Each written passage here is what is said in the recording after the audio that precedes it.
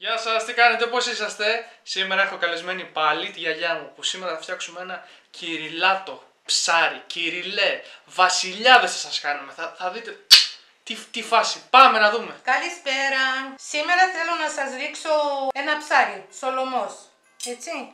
Με πανέ από ψύχα αμύγδαλο, με κρέμα γάλακτος μαγειρική, ανακατημένη με κόκκινο χαβιάρι. Αυτό θα το δείτε στο στόλισμα μετά όταν θα το φτιάξω. Τώρα έχω ανάψει τη φωτιά, έχω πάνω το τηγάνι με το λάδι.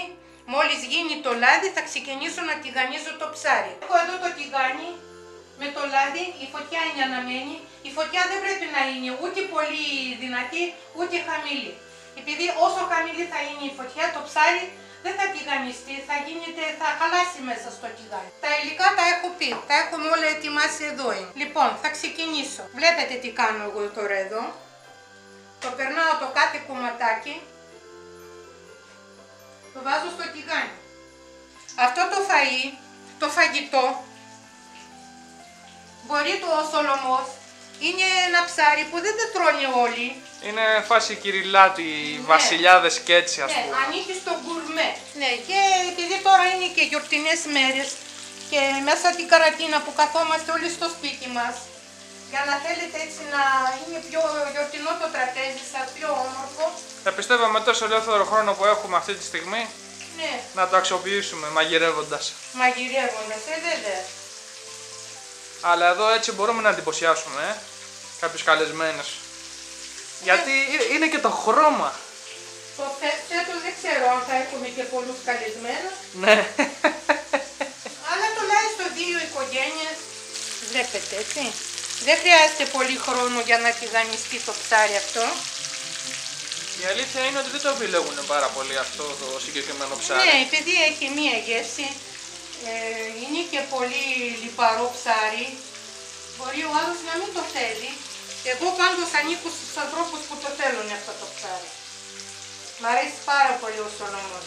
Εγώ νομίζω για πρώτη φορά θα δοκιμάσω κάτι Και τέτοιο. φρέσκος, και καπνιστός, και έχω κάνει και ψαρόσουπα με αυτό το ψάρι.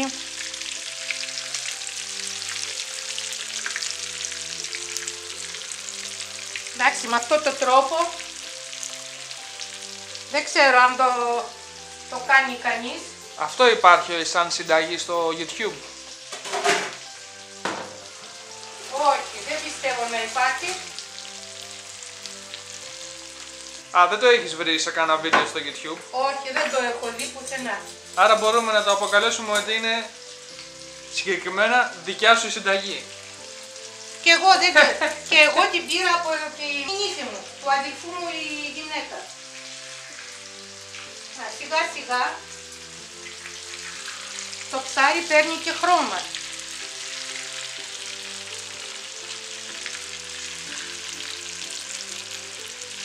Είναι πολύ ευαίσθητο ψάρι. Ε, είναι ακριβό αυτό το ψάρι; Ναι, αυτό το ψάρι είναι, ανήκει στους, α- στα ακριβά τα ψάρια. Με 16-17 ευρώ το κιλό. Κάθε μέρα. Θα το φτιάξεις μια φορά στο τόσο, στο τραπέζι, στο γιορτινό. Για να κάνεις έναν μεγάλο εντυπωσιασμό. Ε, ναι, κάπως έτσι γίνεται.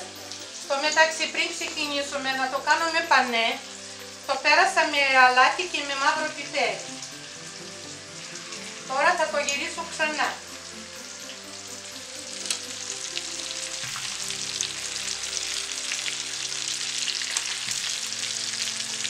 Θα ήθελα να σου κάνω εγώ μια ερώτηση. Για να δούμε. Τι έχεις να πεις που έχουμε φτάσει ένα τουλάχιστον κοντά στις 7.000 προβολές περίπου στα πυροσχή. Είναι μεγάλη ανταπόκριση και ρωτάνε πάρα πολλές κυρίες, προ- συγκεκριμένα κυρίες, γυναίκες. Εγώ ευχαριστώ πάρα πολύ τον κόσμο που με παρακολουθεί με τα πυροσχή και μου λένε και κάτι πα- πολύ πολύ ωραία λόγια. Αισθάνομαι πολύ ωραία που και εγώ κάτι έχω Έχεις κάτι να προσφέρεις. να προσφέρω στον κόσμο αυτά που ξέρω. Μπορεί κάποιος και να μάθει από μένα κάτι. Να μοιραστώ όπως και εγώ μοιράζομαι από τους άλλους που παίρνω κάποιες συνταγές. και προσθέτω και κάτι δικά μου, μπορεί και κάποιος να πάρει κάτι από μένα. Όχι και ολόκληρα να κάνει τη συνταγή που κάνω εγώ, αλλά τουλάχιστον ένα κάτι κομμάτι. Και να βάλει και το δικό του νεράκι μέσα. Και να βγάλει καινούργια συνταγή. Εγώ πάντα έτσι κάνω. Παρακολουθώ πολλές συνταγές και ψάχνω τι μου ταιριάζει, τι δεν μου ταιριάζει. Παίρνω από μία συνταγή ένα κομμάτι, το βάζω στο άλλο και έτσι φτιάχνω και κάτι καινούργιο. Κάνεις ανάμειξη συνταγών. Κάνω ανάμειξη, ναι. Και είναι και κάτι που αγαπάς και κάνεις τόσα Πολύ χρόνια, α- έτσι είναι Αγαπώ να κάνω αυτή τη δουλειά. η τι βασική να σου η δουλειά. κάνω. Ναι. Αλλά για τα πυροσκή... Για το τυροσκή, ναι, τώρα είναι το χόμπι μου. Λοιπόν, τα κομματάκια είναι έτοιμα.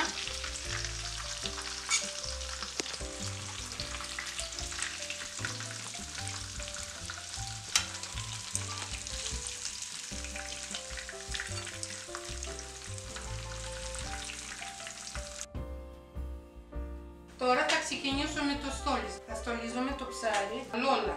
Αυτό είναι πολύ όμορφο για τραπέζια που κάνετε στις γιορτές. Λοιπόν, έτσι βάζουμε όμορφα όμορφα τα κομματάκια. Αν έχετε και μια πιατέλα που είναι πιο ανοιχτή, να είναι πιο έτσι ανοιχτό, θα είναι ακόμα πιο όμορφο.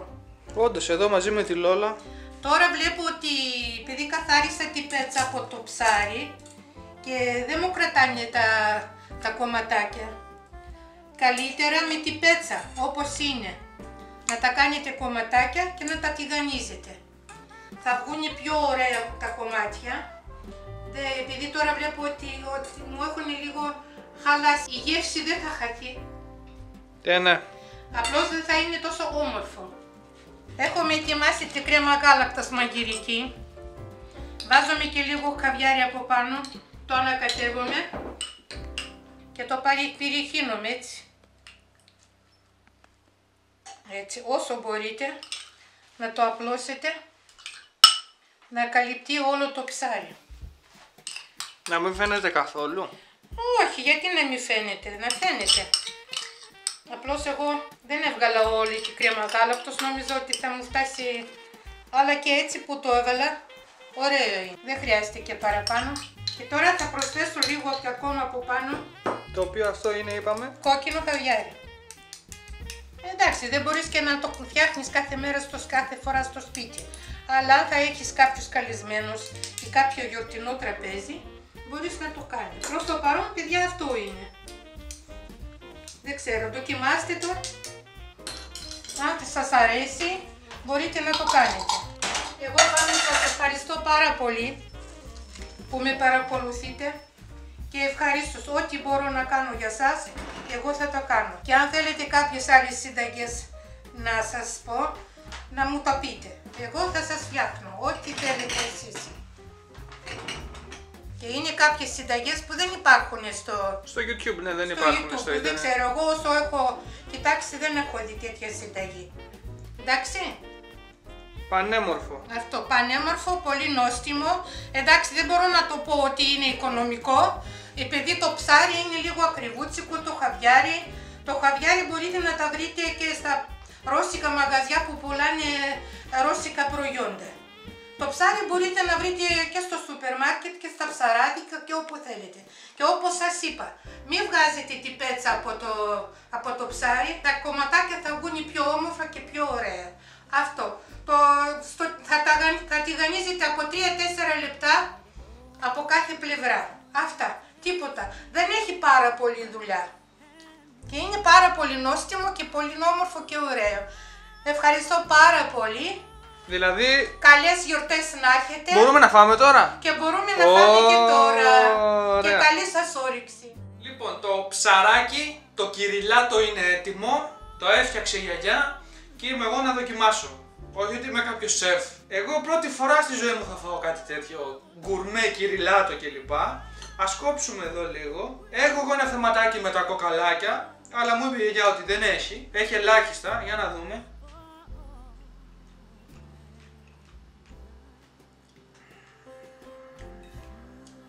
Πέντα νόστιμο, καταπληκτικό. Αν δεν είχα ψώματα, θα το βλέπατε στο πρόσωπό μου. Ε, μ- μόνο του δεν, μπορείτε, δεν μπορεί να φαγωθεί. Μπορούμε να το, να το συνοδέψουμε με τηλεόλα είτε με κάποιο ρύζι. Με ρύζι βραστό, Με με, ρύζι. κάποια πράσινη σαλάτα. Ναι, ναι, ναι, ναι, ναι, παιδα- παιδιά.